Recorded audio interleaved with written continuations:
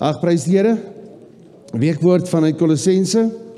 So my broer Ja, ek sê ehm um, vat asseblief 'n aantekeningetjie of twee of op jou foon.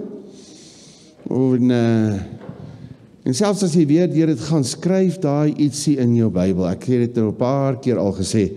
Skryf daai aantekeninge van dit wat die Here vir jou sê in jou Bybel. My broer, my sis, meer as 'n 1000 rand of 'n miljoen rand kan dit heel moontlik wees vir jou kind, vir jou kleinkind, wanneer 'n kleinkind oupa se Bybel kry en kan sien in daai Bybel wat het God vir oupa gesê.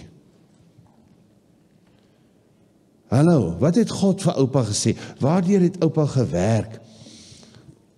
Wat het oupa beleef met Vader God? Dan terwyl van jou kind of jou kleinkind kry 'n Bybel en dan skryf jy so 'n paar goedjies daar neer.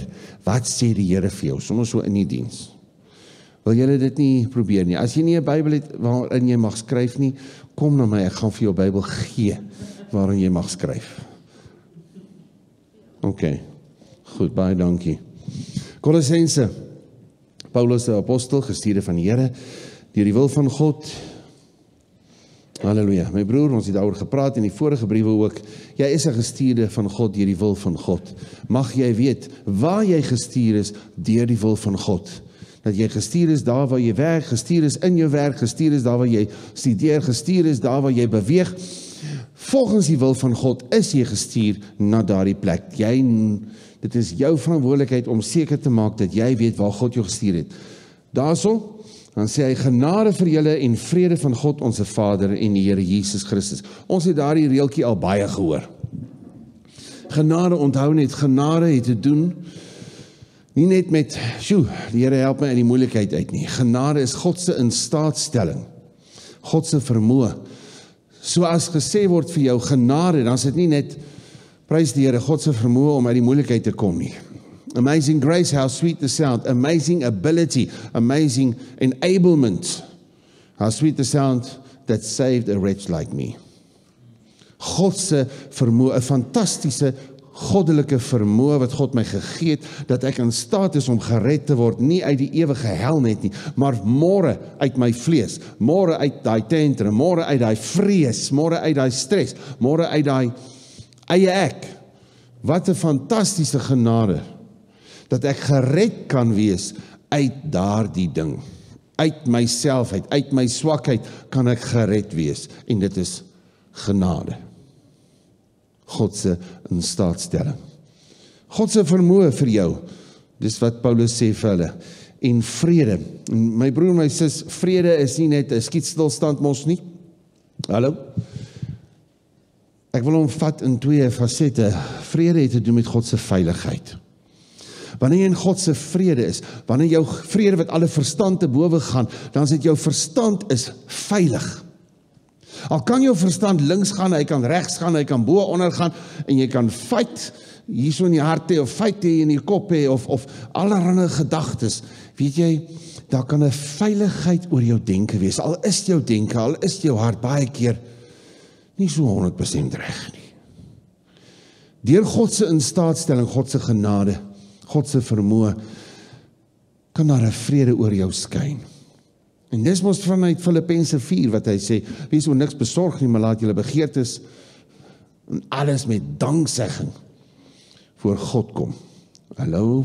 En dan as jy in gebed alles voor God bring met danksegging, dan vrede van God sal jou hart en sinne bewaar in Christus Jesus. En as jy dan met die vrede van God werk, dan sê hy in die volgende vers mos vers 8 dan bedink sekere dinge. Begin om sekere te dinge te dink. Wanneer God se beskerming oor jou gedagtes is, oor jou hart is, vrede van God wat alle verstand te bowe gaan. Wanneer dit oor jou gedagtes en jou hart is, in daardie plek van veiligheid, bedink die volgende dinge. Dit wat rein is, dit wat lieflik is, dit wat loflik is. Bedink al hierdie goed. My broer, my suster, dis oefen. Jy moet jou denke oefen. Jy moet jou denke oefen. Jy moet oefen om sekere dinge te dink en sekere dinge nie meer te dink nie. Veral as hy sê bedink die volgende, as hy sê mediteer op die woord, dan is dit jy kry die gedagtes van wat dink God oor die saak. Kry jy die woord in jou kop en in jou hart, dan beteken dit jy Jy leer ken die denke van God. Jy sien wat dink God oor hierdie verhouding? Wat dink God oor die werk? Wat dink God oor hierdie strategie? Wat dink God oor my seer en my teleurstelling? Wat dink God oor hierdie sake? En as ek kan vat wat God dink, is ek vry. Is die vryheid daar. Amen. Genade en vrede vir julle van ons Here Jesus Christus en van God die Vader. Dis daar's eintlik soveel net in daai sinnetjie. En mag ons dit oor mekaar spreek. Nie net vrede vir jou, jy weet, soos 'n stop om so te fight nie. Maar daar's 'n rykdom in die woord vrede. Van veiligheid en aan die ander kant wil ek sê van die minste die leiding van God. Ek het nie vrede om dit te doen nie. Mense kan ons ook sê ek voel nie veilig om dit te doen nie. Hallo? Ek praat nie van vanuit stres nie ek dit ek ek voel nie veilig in hierdie situasie nie. Maar wat jy eintlik dan moet kan verstaan is ek het nie vrede nie. Het jy vrede om dit te doen? Het jy vrede in hierdie keuse? Het jy vrede in daardie verhouding? Dit beteken nie daar's nie 'n feit nie. Dit beteken net jy weet dit is van God af. En jy weet jy's veilig in sy wil. En vrede is om te beweeg in sy wil. Want in sy wil, my broer, het jy mos veiligheid. Waar jy in sy wil beweeg, is daar veiligheid. So die twee werk saam in een woord en daai woord is vrede. Waar jy sy veiligheid het en jy het sy leiding. Hallo? Jy het sy wil, jy het sy veiligheid en as jy sy wil en sy veiligheid het saam vrede vir jou. Nie soos wat die wêreld laat nie, sê Jesus net voor sy hemelvaart, né? Nadat hy opgestaan het uit die dode en hy kom na die disippels en hulle is gestres. Hoe moet ons dinge nou verstaan? Wat wat wat moet nou gebeur?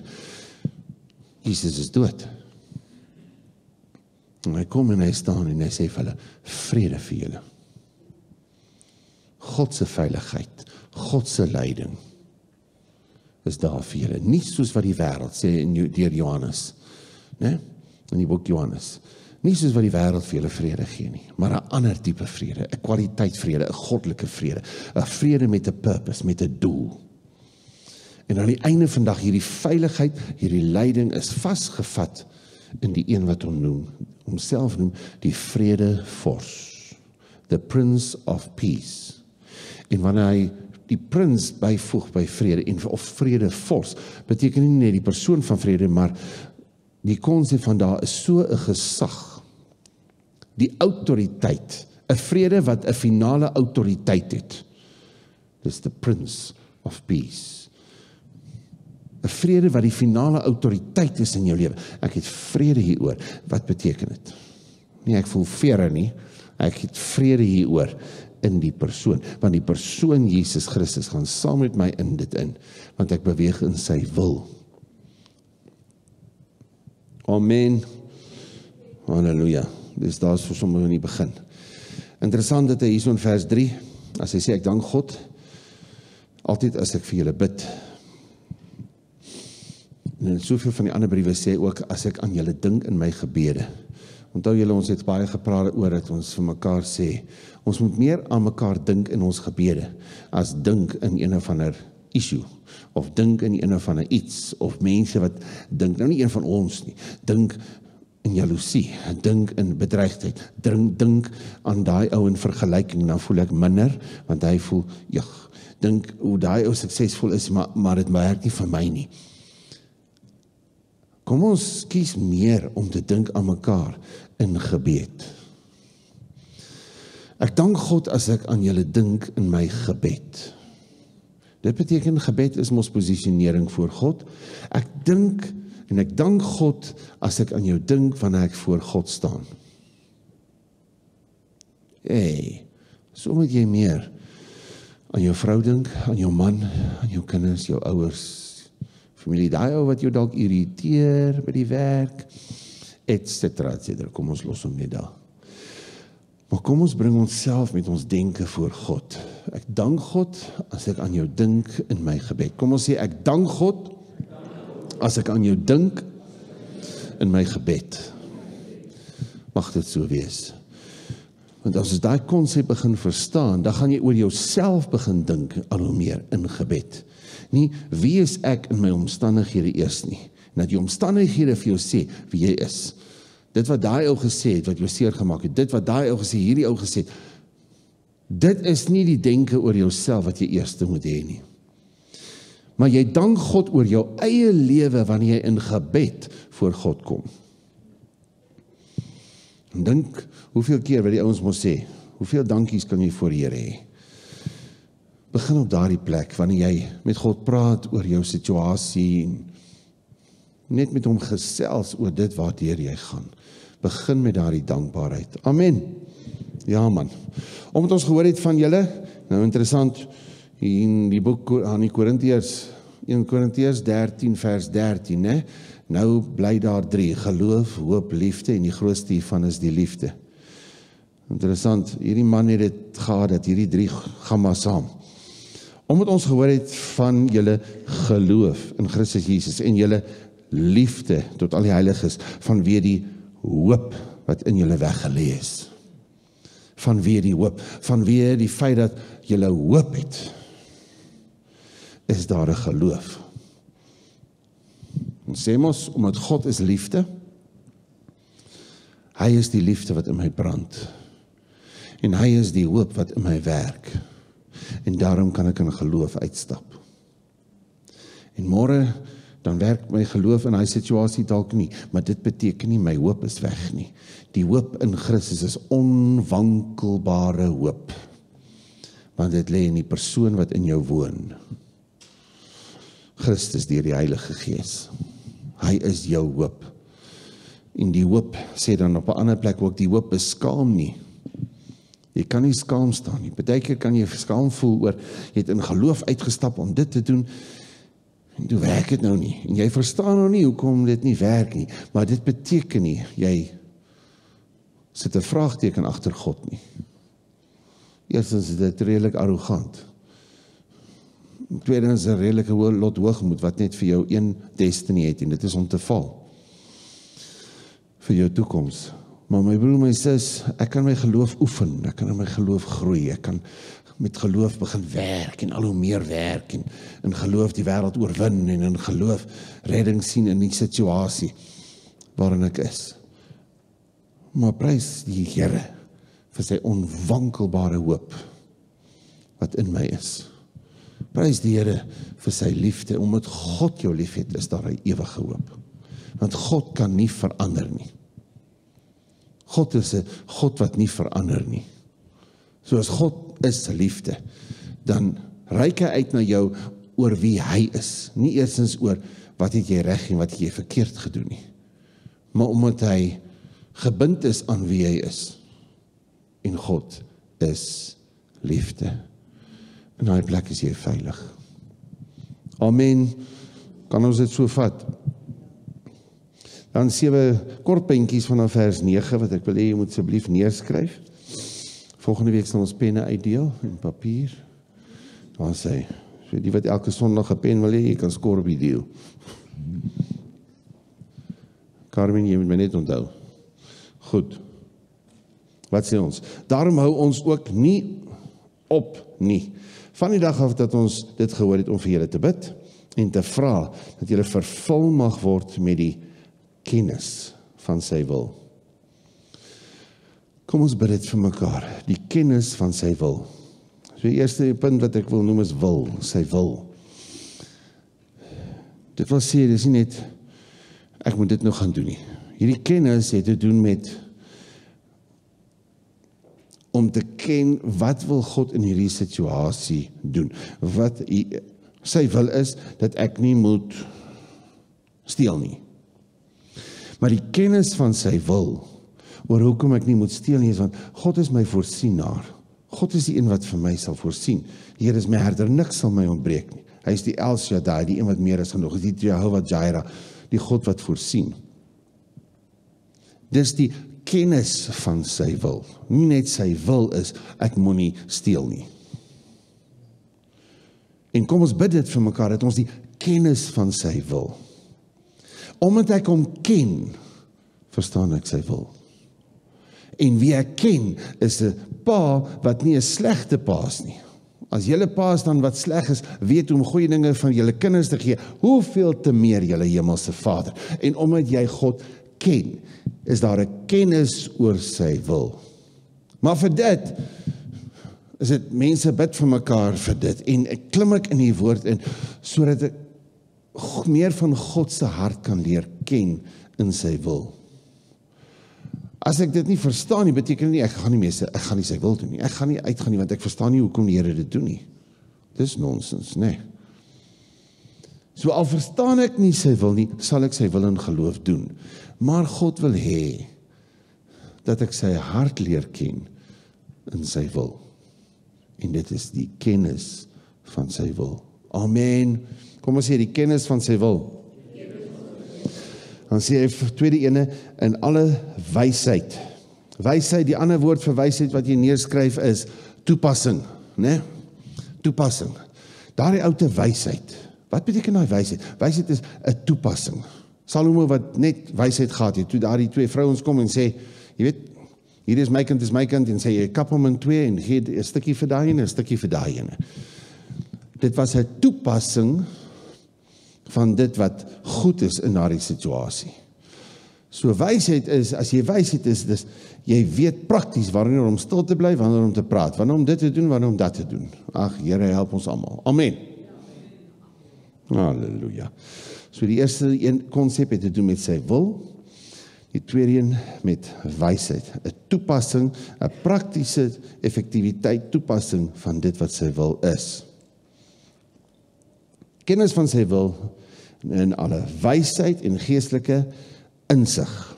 Daai insig wil ek 'n ander woordjie vandag net by julle los sodat al die wees werk, nê. Nee. Ons het mos nou die wil, ons het nou die wysheid. Maar ek wil sê waarheid. Wanneer jy die waarheid ken, het jy insig. Wanneer jy die inligting ken, verstaan jy niks. Maar waarheid is in 'n persoon en dit is ook weer eens Jesus Christus, né? Nee, ek is die weg, die waarheid en die lewe. Wanneer jy die waarheid ken, sal dit jou vrymaak. Hoekom? Want jy het insig. Feite en waarheid. Onthou julle nou weer Genesis 50 vers 20, né? Josef vir die vir sy broers julle wou my seer, maar you intended to harm me. But God had a plan for a nation to have food in a time of famine. Daar's 'n insig want hy sien die waarheid. Hy sien nie net die feite nie. En wanneer jy in hierdie woord kan inklim as die waarheid en jy eer dit as die ultimate as die waarheid. Jy gaan deur ja, dis 'n feit, dis hoe jy voel. Ja, dis 'n feit jy is siek. Maar daar's 'n waarheid dat jy deur Jesus se wonde genees kan word.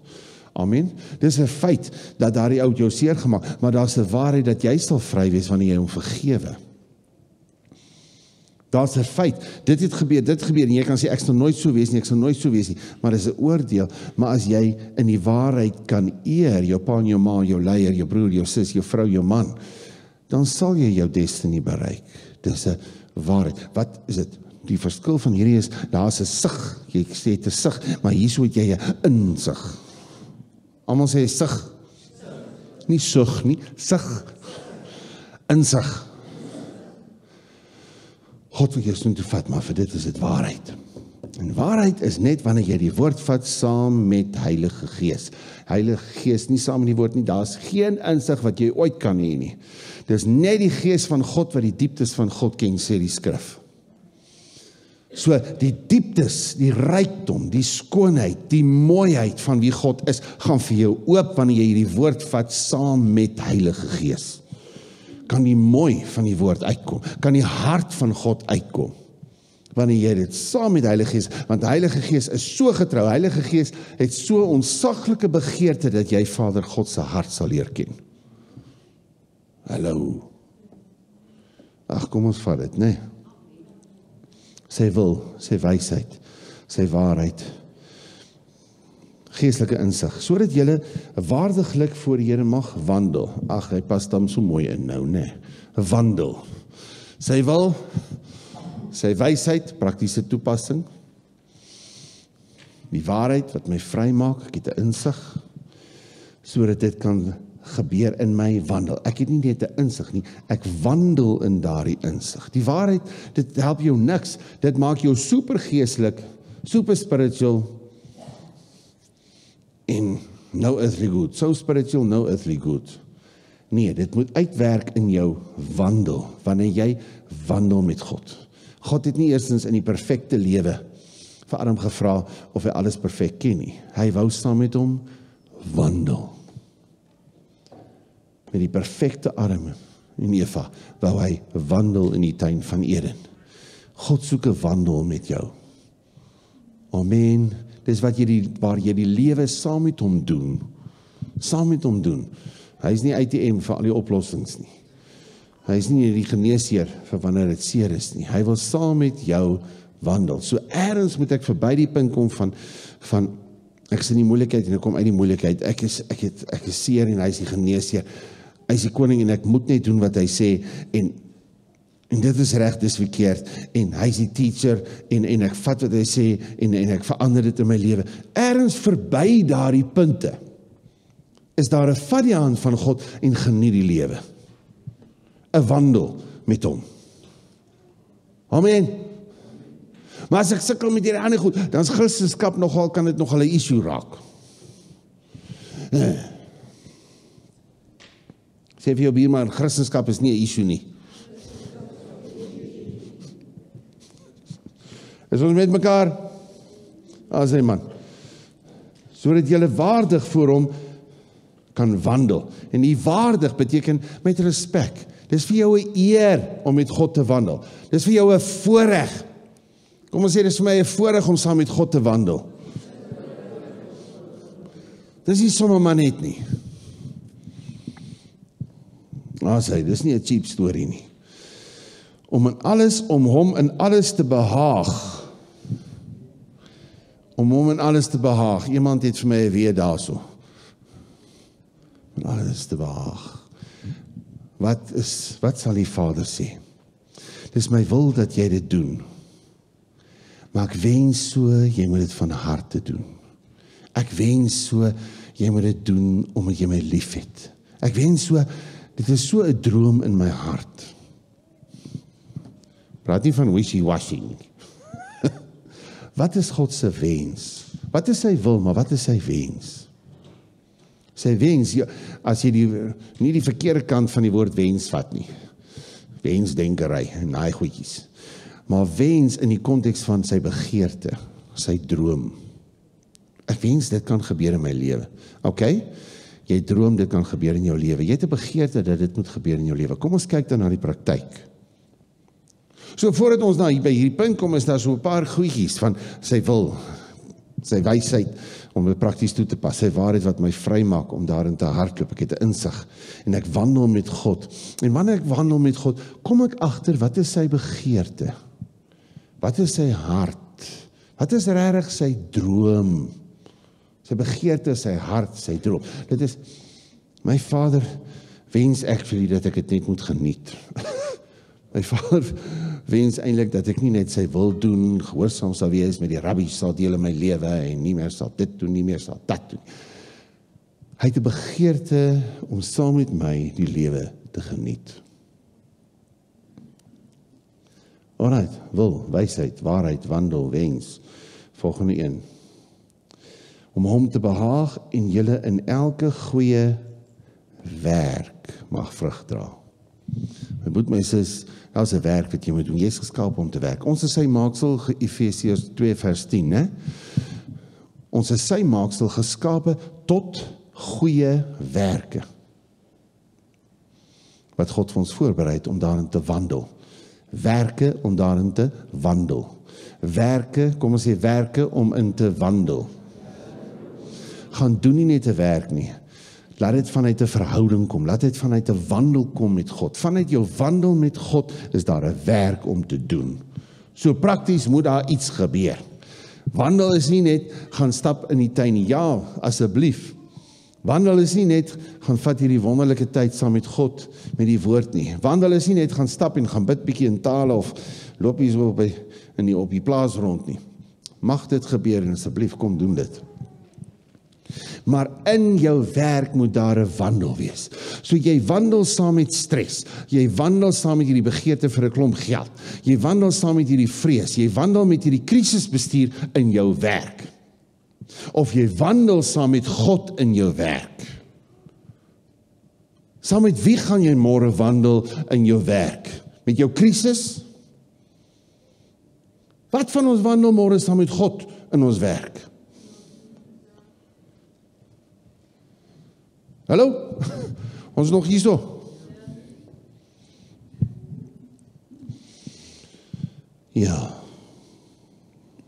Om te behaag en julle in elke goeie werk mag vrug dra. Vrug soos wat God dit wil hê. Daai vrug is nie dit wat jou verwagting is nie. Jy bewerk daardie boord en jy dog dit is toe nou granate en toe is dit al die pad wat anders te kan dit wees. Wat lyk soos 'n granaatboom. Nee, ek weet nou nie eens. Maar raai, 'n ander vraag. Maar wat ek net sê is God weet God weet wat hy in jou plant. God weet wat in jou plant. Maar my broer, my sus, ek kan besig met ander werke. En as ek dit nie by God gehoor het, as ek nie sy wil gesoek het nie en ek vat nie sy praktiese toepassing, sy wysheid en sy waarheid wat my vrymaak en begin met hom wandel en begin sy hart verstaan, sy wens vir my lewe.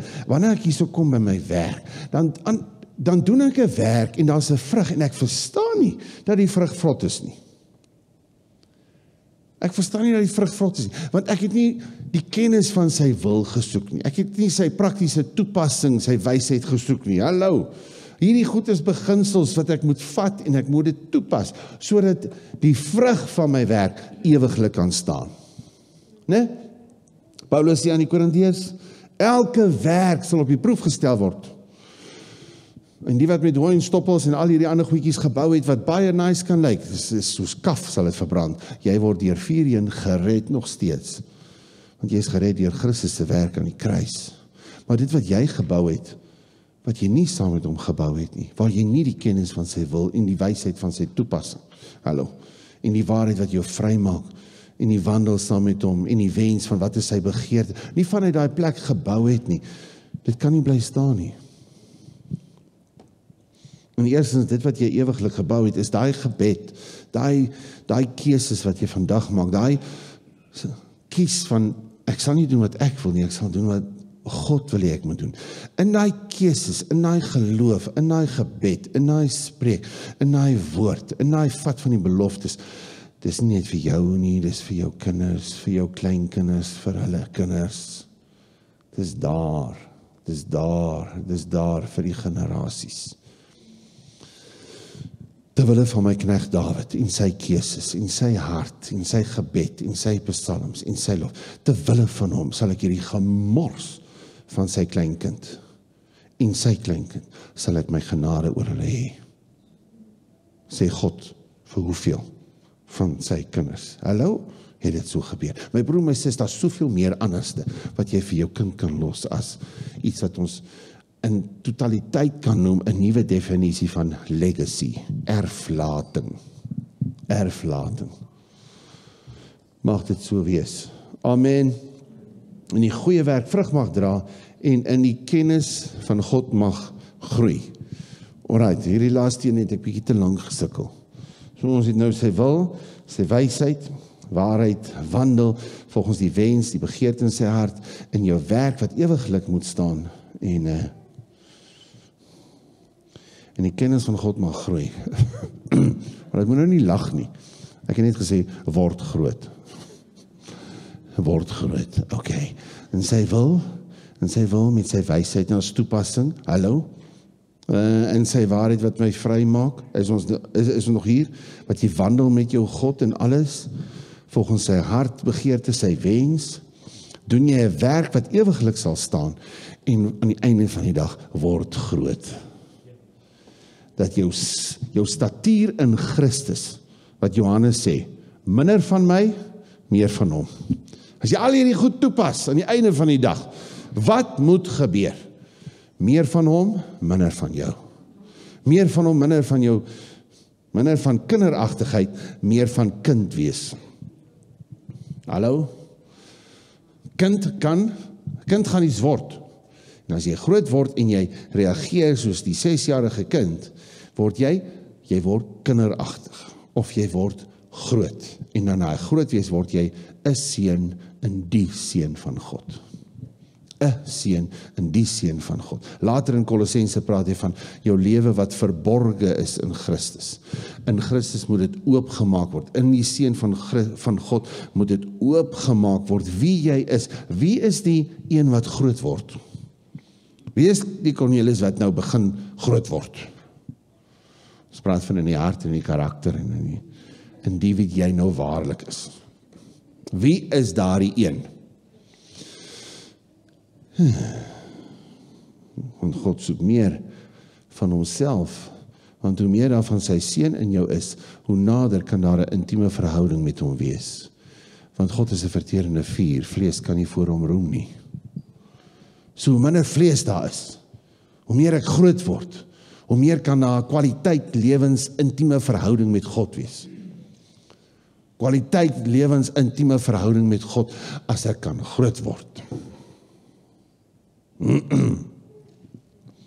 OK. En dan sê ek net dat julle in die kennis van God mag groei en met alle krag bekragtig kan word. So ek werk nou nie meer nie want dit is nou nommer 8. Ons sewe punte. Maar uh so al wat ek net hierso sê is wees sterk. Wees sterk. Wees sterk. En dit is ons sien dit mos in die eindste Efesiërs 6, né? Wees sterk. Wees sterk is waar jy staan. Waar jy staan in Christus Jesus. Wees sterk. Is dit nie ook wat wat God vir Josua sê nie? As jy in die hierdie wetboek nie uit jou mond wyk nie. My broer, my sis, wat is op jou mond? Ek ek daag julle uit om die woord syllabus. Ek het al gedink miskien moet ons net sommer net daai geloofstap neem en vir almal 'n woordboek gee. Die woord syllabus in Creari. En uh so 'n paar duisend rand net belê en net vir almal verniet 'n woordboek gee. En sê gaan vat die woord en studeer die woord. Kry die woord in. Kry die woord in. Hallo. Uh, uh, hallo. Hy sê Josua 1 die woord hierdie hierdie wetboek mag uit jou mond nie weg. Hy kan nie in die mond wees as hy nie eers in die hart en in die kop is nie. God sê een van die grootste dinge, eerste ding, nuwe verbond, ek sal my wette in jou hart en in jou verstand skryf. Maar hoe gaan hy dit doen? Deurdat jy respek het vir hom om te sê, Here, dit wat U in my wil doen, ek sal gaan sit en dat U dit doen. Ons kan maklik sê, Here, wat U ook al met my wil doen, hier is ek. Ons stem saam in die beginsel wanneer ons daai daai lied sing. Ons stem saam in die beginsel en ons kan dit bid. Maar dan wat dan? Kom doen wat u wil doen. Wat wil God doen met sy nie met die nuwe verbond? Eerste ding, hy wil sy wette in jou verstand en in jou hart skryf. Hoe gaan hy dit doen? Deur dat jy vir hom respekteer om dit te doen. En dit beteken jy gaan sit dat hy dit doen, nê? Nee. Jy gaan sit met die woord dat die Heilige Gees dit kan vat en in jou hart en in jou verstand inskryf. Laat hom toe, hê respek vir wat hy wil doen in julle verhouding. En in hierdie verbond wat hy met jou het, die eerste ding is hy wil sy wette, sy gedagtes, sy gedagtes, sy denke, sy manier van dink, wil hy in jou hart en wil hy in jou kop insit. Asseblief my broer, my sis, kom ons, kom ons gaan daarvoor, né? Is ons met mekaar? Asseblief met alle krag bekragtig te word dat ons sterk kan wees dat ons sterk wees sterk maar jy jy kan nie sterk wees en vol moed as jy nie die woord in jou het in die wetboek nie van jou mond wyk nie. Daai oomblik wanneer jy moedeloos word ewe skielik praat ek nie meer die woord nie. Praat ek net wat ek voel. As ek myself vervies het dan praat ek net wat ek wat die viesheid sê en nie wat die woord sê nie. Josua, as jy oor daai Jordaan wil gaan en jou deurbraak wil hê en jou destiny wil hê, een van die grootste goed, laat my woorde nie uit jou mond wyk nie. Maar as jou woorde uit my mond uit wyk, kan jy nie die land Kanaan in besit neem nie. Jy het hom beerwe, maar jy moet hom in besit neem. Daar's soveel goed wat jy beerf het in Christus Jesus. Wat die woord sê, ons het alle seëninge, alle alle seëninge in Christus Jesus. Daar's soveel goed wat jy geërf het in Christus Jesus. Alle seëninge. Almal sê alle seëninge. Ons sê ek het alle seëninge geërf. Maar om dit in besit te neem, moet die wetboek uit jou mond nie wyk nie. Moet die woord van God, nie die blessings uit jou mond nie wyk nie. Die woorde van God, die gedagtes van God moet uit jou hart wat vanuit jou hart kom, vanuit jou verstand kom, moet dit op die lippe wees en dit moet nie wyk nie. Daar moenie 'n verstopping kom. Want ek en jy, ek weet nie of dit met julle gebeur nie, baie met my al gebeur, dat die woord is in my hart, die woord is in my verstand, maar weet jy, ek kies 'n verstopping. Ek kies om dit toe te maak en wat uit my mond uitkom. Huh, is 'n paar stukkies vlees and it originated from my flesh and not from my heart and not from my mind. Dalk net met my gebeur, ek weet nie. Maar ehm um, ja, mag die Here jou help my broer, my sis, mag die Here ons help. Amen.